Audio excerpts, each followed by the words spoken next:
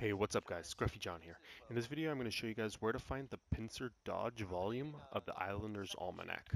Right now we are on the island of Far Harbor at Northwood Ridge Quarry, kind of at the south point of Far Harbor. I'm going to go ahead and go inside the quarry right now.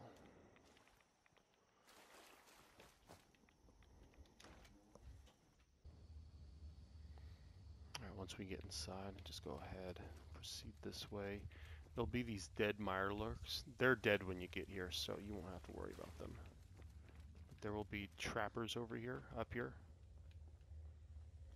I already killed those guys, so they won't, we won't have to contend with them now. And then the magazine is right here.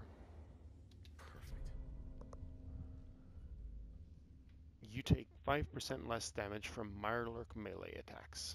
So that's what it does for us. Pincer Dodge. Alright, well that's how you find the Pincer Dodge volume, and thank you very much.